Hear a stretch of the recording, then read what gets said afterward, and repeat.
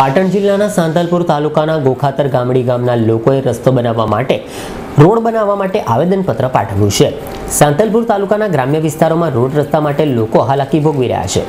સાંતલપુર તાલુકાના ગોખાતર ગામડીના અવરજવર માટે એક જ રસ્તો હોય, પણ કાચો રસ્તો હોવાથી ગામડીના લોકો પરેશાન બન્યા છે.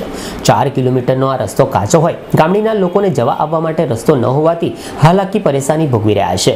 આજે પાટણ જિલ્લાના સાંતલપુર તાલુકાના ગોખાતર ગામડીના લોકો દ્વારા આવેદનપત્ર આપવામાં આવ્યું હતું અને કલેક્ટર સમક્ષ રોડ બનાવી આપવાની માંગ કરી હતી.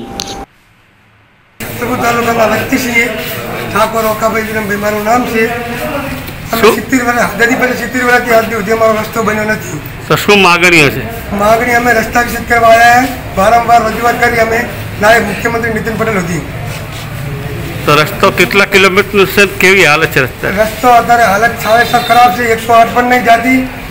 કે અમારા નિશાળિયાનો અભ્યાસ બગડી જાય છે. કોઈ નિશાળે બસ નહીં આવતી કોઈ સાધન જ નહીં આવતું. કેટલા કિલોમીટર રસ્તો? ચાર કિલોમીટર લીમ ગામડાથી આબુ મારું નામ છે ગોખતર ગામડીના. અત્યારે શેનું આવેદન આપવા આવ્યા છો તમે? અમારે રસ્તાનું આવેદન એટલે શું તકલીફ છે? અમારો રસ્તો હાજે માદે કોઈ ડિલિવરી કોઈ આવરાય એમ નથી. બે કેસ તો અમારે બગડી ગયા છે. દવાખાને લઈને આવતા આવતા વચ્ચે ઓફ થઈ ગયેલા છે. તો અમારે રસ્તાની જરૂર છે. એટલે રસ્તાની શું પરિસ્થિતિ છે રસ્તાની? કશું હાલે એવું જ નથી બાઇક નથી હાલતા ટ્રેક્ટર નથી હાલતા કશું સાધન હેઠું નથી. જોરીમાં લઈને આવવા પડે.